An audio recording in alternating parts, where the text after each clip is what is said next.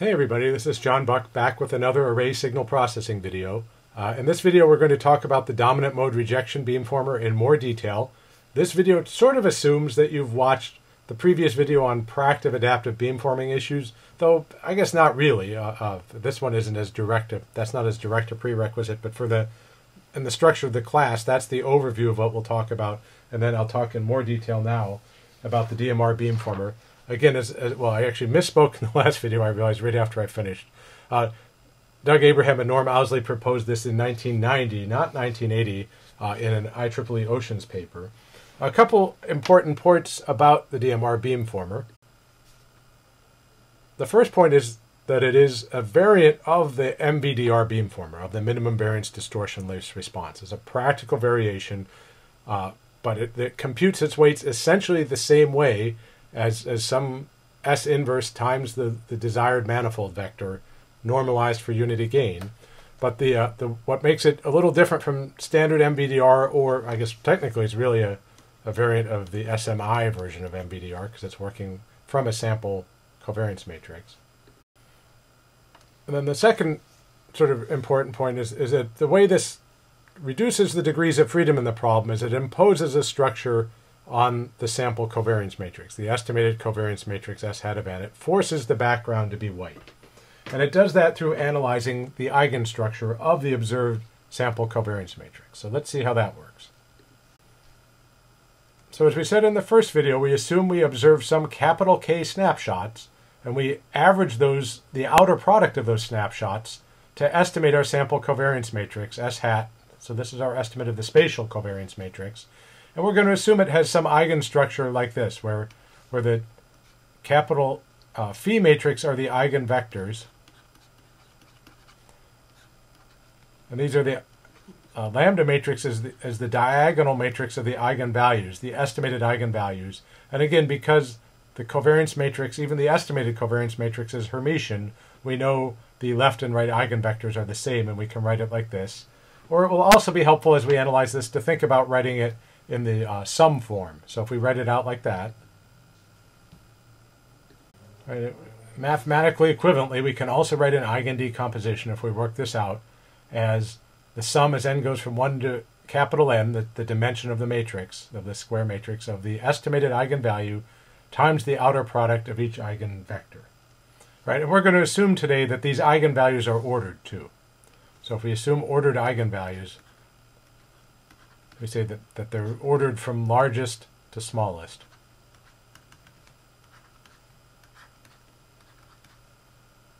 And of course, because these are all powers in a, in a covariance matrix, they're all non-negative. And so the, the uh, DMR assumes that in practical environments, I usually have some set of strong interferers and then a bunch of background noise, and that that's reflect will be reflected in the eigenvalues here.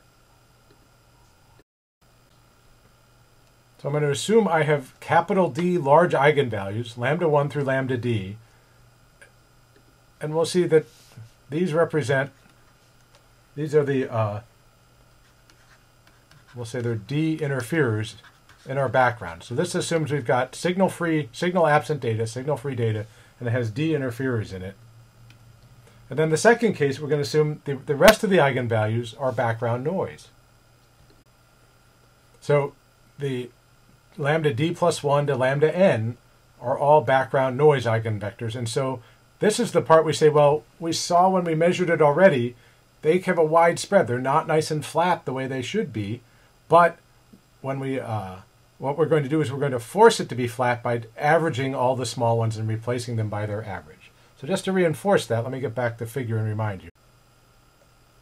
We saw this figure in class last week saying, well, this is the truth. If, if we really have you know, background white noise. This was a case with the one loud interferer, and then all these other eigenvalues, where the, you know, this is the index of the eigenvalue, and this is the uh, amplitude. Th this is white noise in the background, where everybody has the same amplitude. But when I estimate it from uh, uh, this case, this, I wrote L here, but in, in, our notation for this class, it would be capital K. Uh, I have twice as many snapshots as sensors. I still see, instead of being nice flat along the red line here, I've got a lot of spread of the eigenvalues, and taking the inverse of these small ones is my problem, right? We saw one approach was diagonal loading. The other approach, what DMR says, is why not take all these things compute their average, and then replace all of them by that constant. So I know I'll have something flat that is white noise. So let's see how that would work in equation form. So again, DMR's strategy is we're going to create a new covariance matrix. We're going to create, we'll call it S hat sub DMR. This is a, a structured covariance matrix with white noise, with a white, a structured covariance matrix.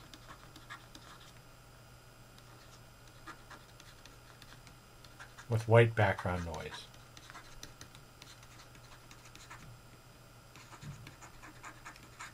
So the flat power in the background. So to do that, what we're going to do is we'll say um, my estimate of the noise power will just be that by DMR does implicitly is to average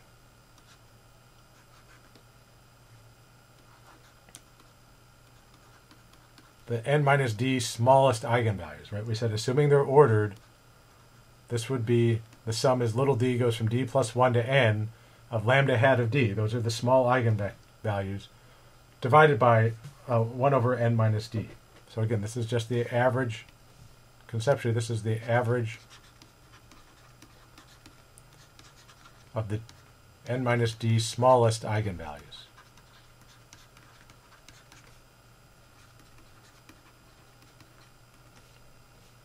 Okay, and so and then the what, what how that's going to work? Let me uh, well, well let me compare the eigen decomposition.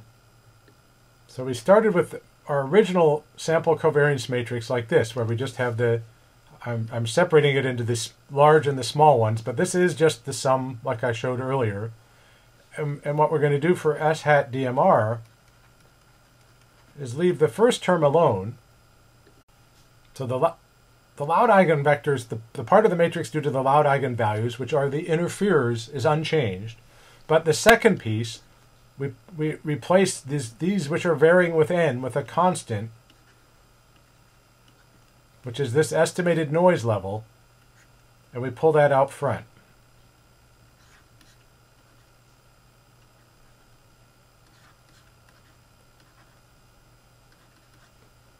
And so again, this is for the n minus d smallest eigenvalues. They get replaced by some by their average, so they don't have any variation anymore. So if we compare uh, to what we saw on the, the graph a second ago. We've replaced all the small ones that were sloping downhill with their average. Once we've done this, then the way we find our array weights, well, actually, let me, let me draw you a sketch of that just to make it clear. If I sort of have a cartoon eigenspectrum like this, so this is showing me, this is n, the dimension, and these are the uh, eigenvalues. And so in this case, I have three loud things. This would be the case where I, I've assumed that d equals 3. Oh. So everything, this is sort of my dividing line. Everything to this side is loud, and it, I'm going to say assume these are my loud interferers. Everything over here is the background noise. And so if this is what I got originally for S, for S hat DMR, I would leave those alone, and then I'd go replace all these by, this would be my estimated noise level. So all those eigenvalues above d equals 3 would be a constant, assuming the background is flat. And that I just got these, we know we get these noisy measurements. In fact, we know even more than, than Abraham and Owsley did in 1990 because of random matrix theory tells us uh, that complex Wishart matrices have a particular PDF for their eigenvalues called the Marchenko-Pastur distribution. Um, and so once we've done this, we, we put this to get back together, we've now got a new matrix. Actually, we don't even have to put it back together because the next thing we want is its inverse. So let's see how we find the weights from this. So now that we've got the this modified covariance matrix that fits this, this structure, the DMR estimated array weights will be some gain term. This is an alpha type term for DMR. And then instead of the inverting the sample matrix, I invert this constrained or structured covariance matrix and multiply that by V naught. And this is, is actually pretty easily done because we to the cost of DMR is I have to find eigenvalues and eigenvectors. So we could, once I have uh, the earlier version, I can do it directly. There also turns out to be uh, computational advantages. Uh, this ADMR is, is maybe best found by, we often just, uh, well, let me say what it is first. So ADMR has the same structure we saw earlier with regular DMR, that it's V naught Hermitian times S inverse, but now it's the inverse of the structured DMR matrix times V naught. All this to the minus 1, so that when I apply these array weights to the look direction V naught, I get a gain of 1.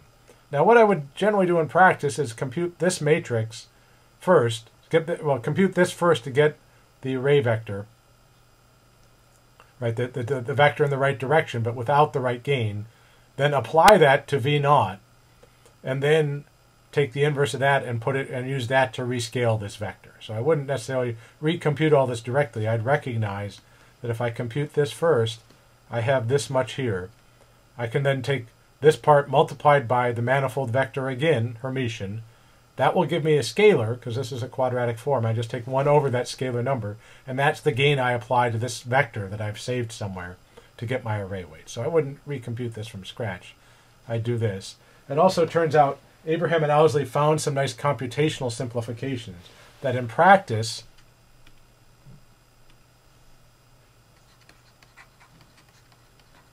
we just need well V naught obviously and then we need the the the strongest eigenvalues and their eigenvectors but I don't need all of them so if I have a really big array say like a 50 element array and only five or six strong eigenvalues. Once I have those, I just need all those, and then I also need the original. Well, I need obviously I need s hat because I had to go find the eigenvalues and eigenvectors. But there's often you can save a lot of computation.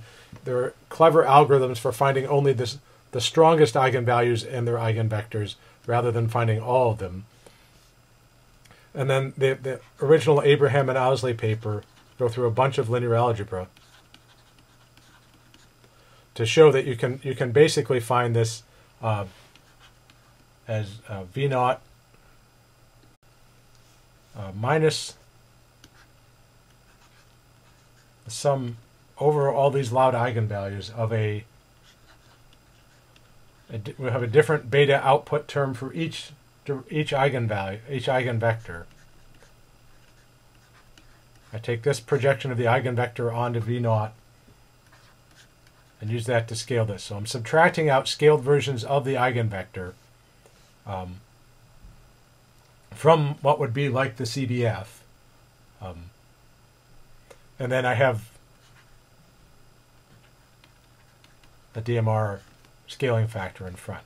But so starting from a CBF, subtracting out the uh, the D strongest eigenvectors based on this scaling here where uh, beta sub d out, I should have told you that, is equal to, uh, this would be the, the INR for the, the dth direction uh, times n. So this is the output Wiener gain, uh, n INR for the dth eigenvalue, or the dth, uh, the, the interferer part of the dth source, over plus 1.